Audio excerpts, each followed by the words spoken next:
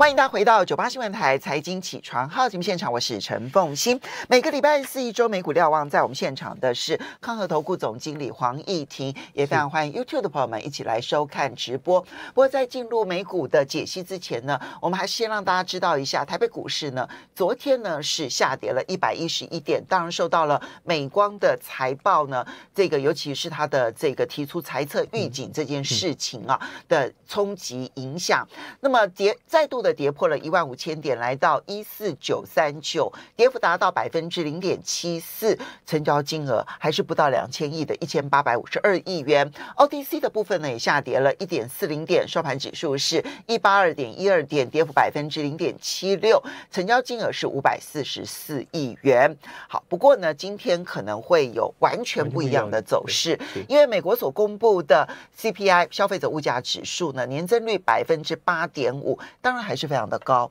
但是呢，不但比六月份的九点一来的低，而且最重要是比预期的百分之八点七都还要来的低，所以你看到市场就是大涨庆祝，那么如何解读？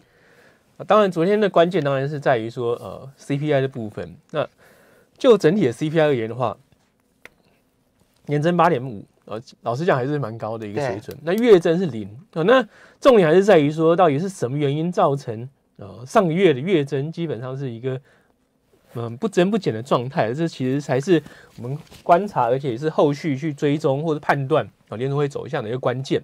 那整体来说的话，那当然最大的负贡献就是造成呃昨天的整体 CPI 呃是降幅比预期来大，重要原因还是来能源，能源的呃是呈现月减了四点六个百分点。嗯，好，那特别是在汽油价格的部分，汽油价格部分的话，跌了将近两成，所以基本上是呃带来很大的一个负向的一个拉低整个 CPI 的一个状态。那核心的部分呢，呃，其实年增五点九，哦，老实讲是跟六月份持平，持平是持平的。那月增的部分零点三，当然是比预期的零点五来的稍微低一点，但。还是一个呃相当有粘性的一个核心通膨的一个状况，其实这才是呃值得后续大家去关注的。那就核心通膨的一个呃分项来看的话，那呃非能源跟食物的原物料年增百分之七。然后月增百分之零点二啊，其实月增幅度有稍微下降一点，其实是相对比较正向。那新车部分年增是十点四，嗯，那月增零点六，也就是说新车部分的物的的价格上涨还是持续当中。那这跟呃缺晶片，然后供应链短缺有很大的一个原因。二手车部分比较好，二手车部分的年增来到六点六，月增是。负的零点四，也就是它呈现零呃月减零点四的状态。那这是呃过去这一年多以来啊，这两块新车跟二手车是推升核心通膨的一个因素之一了。那目前看起来的话，二手车有开始放缓的一个现象，那这是相对比较正面。那呃服务类的部分呢，呃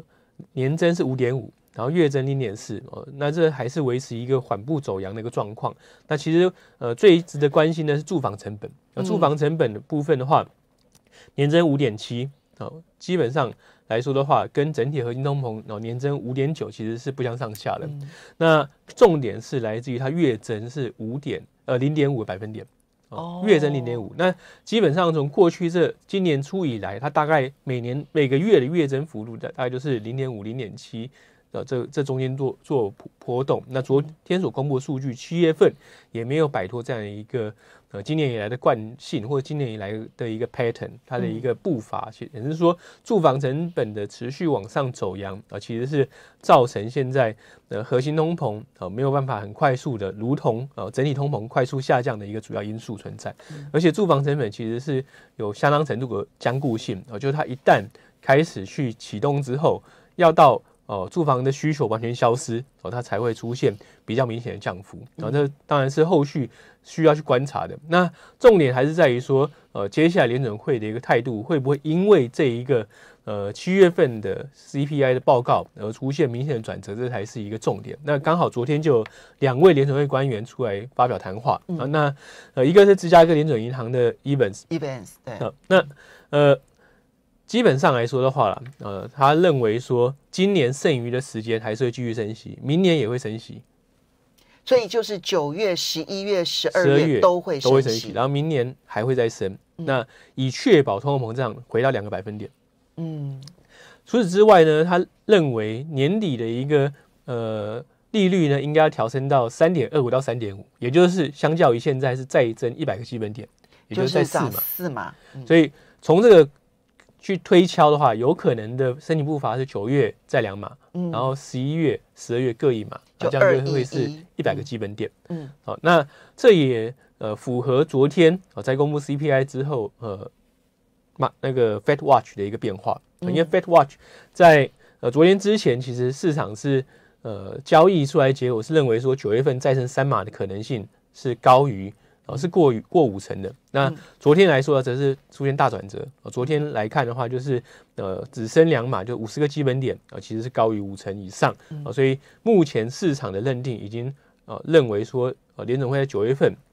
呃升两码的可能性是高于升三码啊。那呃，他有评估呃七月份的这个 CPI 报告，嗯，那呃，其实他发表言论是昨天晚上大概十一点呢，也就是 CPI 报告刚公布，CPI 是八点半公布的。啊，所以刚公布之后他就有评估这一次的 CPI 报告，他说这是第一份啊看起来比较正面的一个 CPI 报告，啊，但是呢数据仍然高的无法接受，也就是说即使看到降下来，但是市场不应该去。呃，过度的评断或过度的预期，联准会很快就会降息，因为这个距离联准会心目中的合理通膨还是太遥远了。对，那呃，昨天的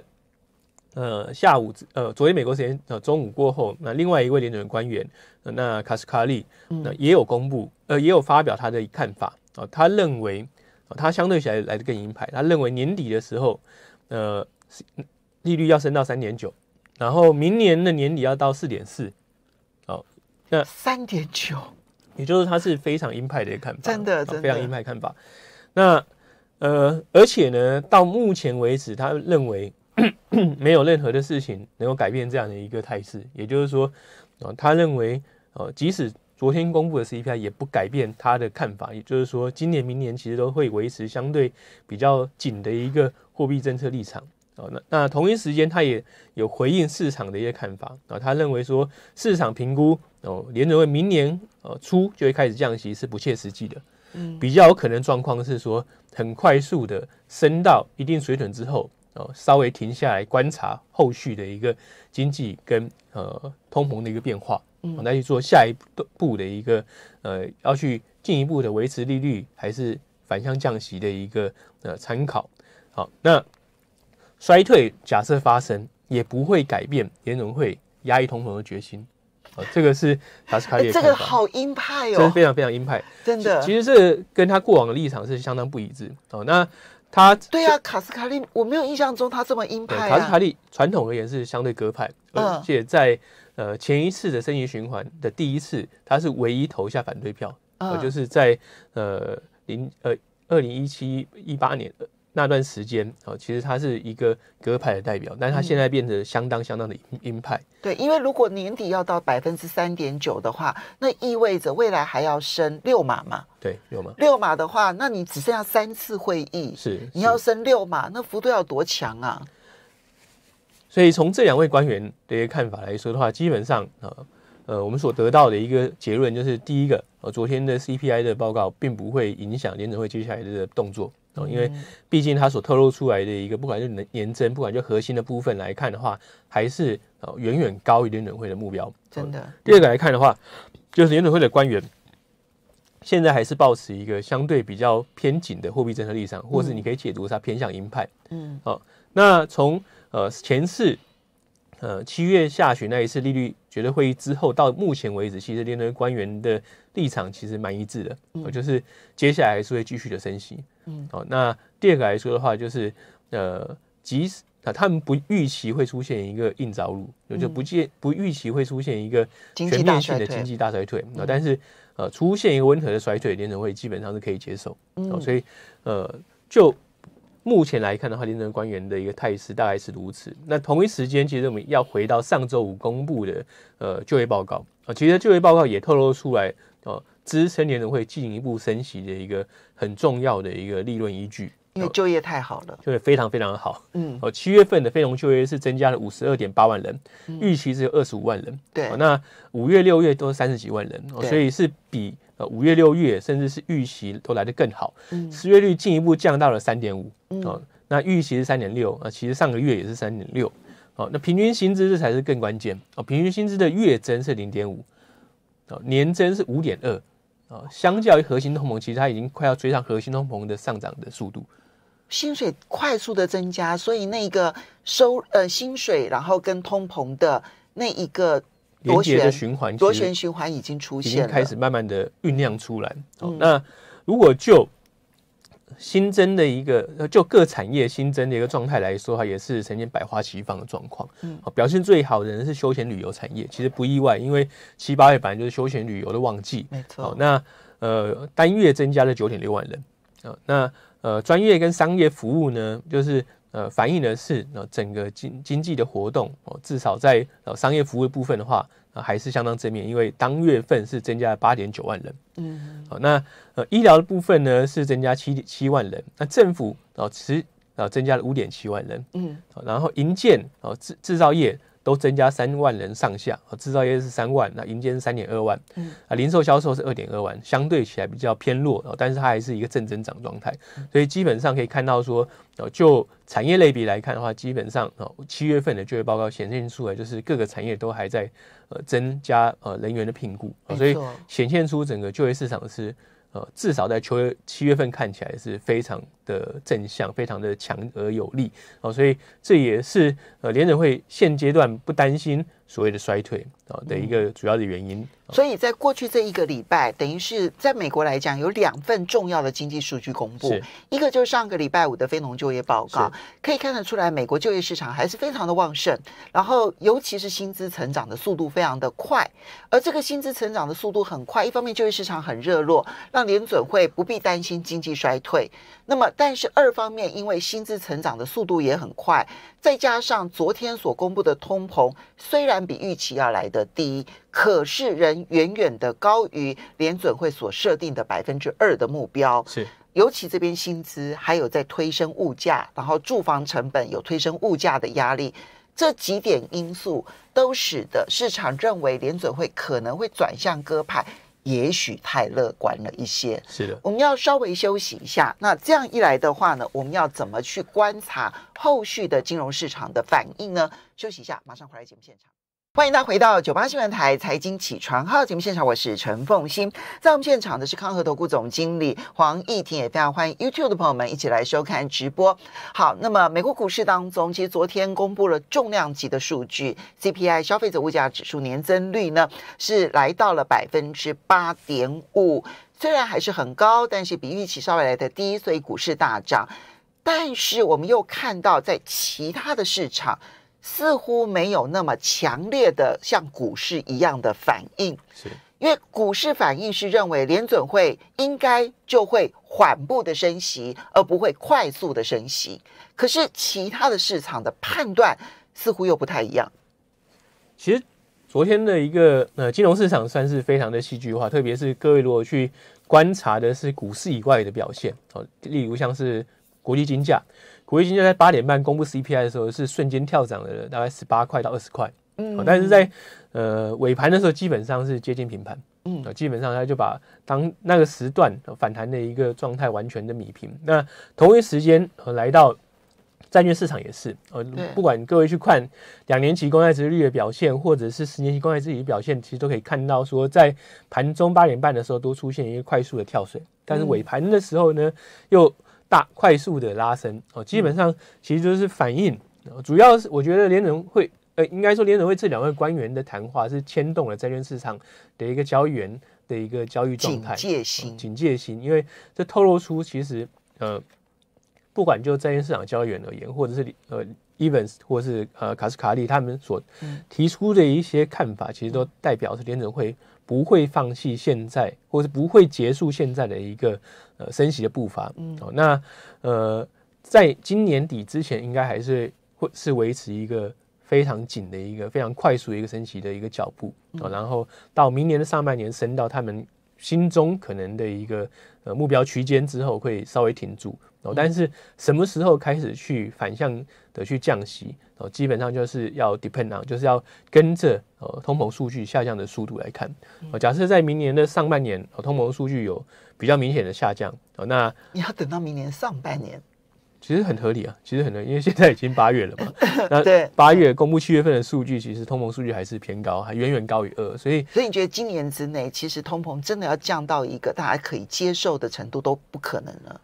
主要还是来自于说，如果看分项来看的话，包含像住房，包或是说呃薪资成本的部分，其实还在呃缓步垫高当中了。所以你去预期整个通膨要很快的反转向下，老实讲，就我的评断评估是不太理性或不太合理的，至少数据面不这么支持我们。嗯，所以。最快也要等到明年才可能真正的看到说，如果通膨真的在明年有一个降温，然后那个时候才可能真的看得到联准会有一个相对偏鸽派的态度。是是是。那如果是这个样子的话，我们要怎么去看未来的金融市场？因为在过去这一段期间呢，它是有它它不只是有联准会的紧缩货币政策，是更重要的是有。非常多的公司提出了获利预警、财测预警，这里面尤其是科技公司，不管是 NVIDIA 啦，或者是美光啦，那尤其对台湾来讲影响是大的。是，那这其实是呃，接下来看待美股短线跟跟中期的一个眼光，可能要不太一致哦，不太一样的观点去看它。短线上，极短线而言的话，其实它就是一个反弹波。那目前来看的话，昨天这一根大涨，呃，其实各呃各位可以看一下我所准备的一个线图，S M P 五百的一个线图，就可以看得很清楚。那昨天的这个跳空大涨之后呢，其实是顶过了两百日的均线。哦，就原先跟大家报告过，过去两周其实有跟大家报告过，这个条均两百日的均线是非常大的关键。那在昨天之前的一个多礼拜，其实也在这条均线之下做整理。嗯，好，那如果各位再去再去看一百日均线的话，可以看到说，其实过去这两周的时一周半两周的时间，就是在一百日均线跟两百日均线之间做摆荡。那昨天的这一个呃所谓的利多讯息，其实就让呃这指数顶过了两百日均线。那未来几天假设能够站稳两百日均线的话，那短期反弹的一个可能性还是存在啊。但是上方的压力区就呃马上接连而来，昨天收在呃。昨天收在呃四千两百一十点，在上再往上之后呢，呃，其实大概就是呃四千两百五十点之上，其实就会是原先在四五月之交的时候一个密集整理区，然后那个时候就会是一个技术面的压力带啊，所以基本上上方的空间，老实讲，呃，并不是太大了，而且如果就量能来看的话，即使昨天这样重大的讯息出来，其实它量能并没有增加。并没有增加很多，它有比过去的整理区间，过去的一个半一个礼一个多礼拜、两个礼拜的整理区间来的稍微增加一点，但增幅并不显著。哦，所以显示说，其实投资人并没有呃强大的一个追加意愿。哦，那这会是接下来反弹哦，主要必须要去观察的。第一个呃。未来这几个交易日能不能站稳两百两百日均线？这是第一个观察重点。第二个观察重点就是量能能不能补上。那如果量能补上的话，那呃市场还有可能再进一步的朝下一个目标、上下一个压力带，那大概就是四千两百五十点到四千两百七十五点这段这个区间去迈进。如果以量能来讲的话，它必须要回到。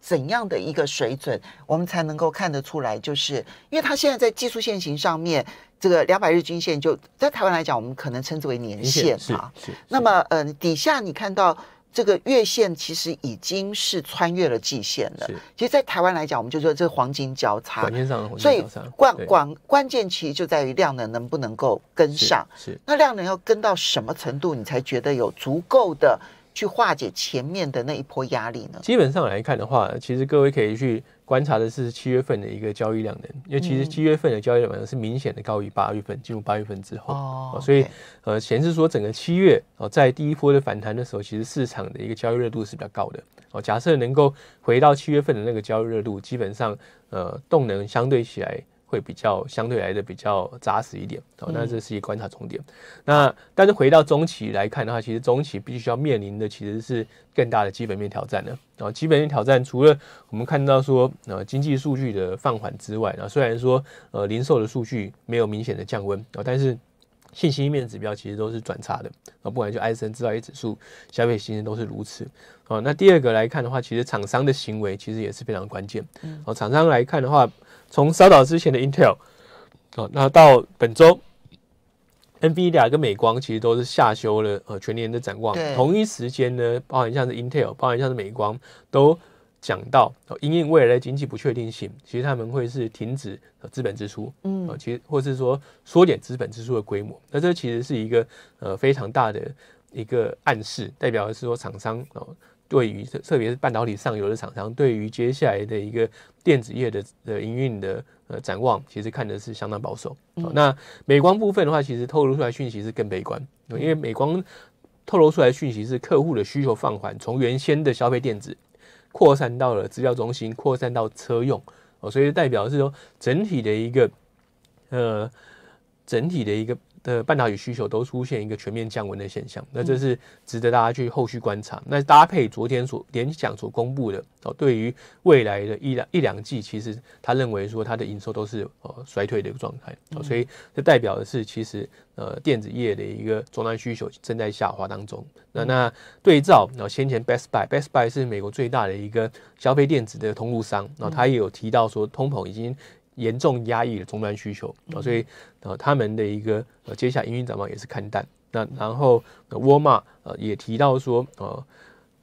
通膨的高涨啊，其实也呃推升了呃或者降低了其他消费的一个支出。那而且他们也在做快速的去库存，那这就会对应第二季的一个 GDP 的构成。其实第二季 GDP 的一个拉下 GDP 增长的主要因素呃就是来自于说库存的下降。所以现在的厂商是在去库存的阶段，而不是一个增库存的一个拉库存的一个循环。所以而且这样一个去库存的状况来看呢，应该还是在呃进行当中了。所以基本上从基本面的观点来看的话，那我会判断这一波的一个空头市场或熊市并没有结束。嗯，但呃短线上呃这个反弹的一个呃氛围还是。维持住，然后至少昨天的 CPI 还是撑住了一个市场的人气，所以短线上的一反弹哦，有机会再往上。那转折点呢，其实就有可能是落在八月下旬到九月初了。哦，因那因为财报面的利多渐渐的淡化，然后市场那在九月二十几号公下一次 FNC 会议之前，应该会变得更谨慎的去看待每一天。或者每一段时间所公布的经济数据透露出来讯息，然后再去决定下一步的交易，所以在那之前，观望氛围会变得更浓厚。好，所以呢，整个的乐观气氛呢，呃，可能会一直持续到这个月底，好，或者这个月的下半旬，对不对？说可能八月二十号之后，那整个气氛可能就开始要出现一个观望的转折。是这个观望的转折，等待的就是九。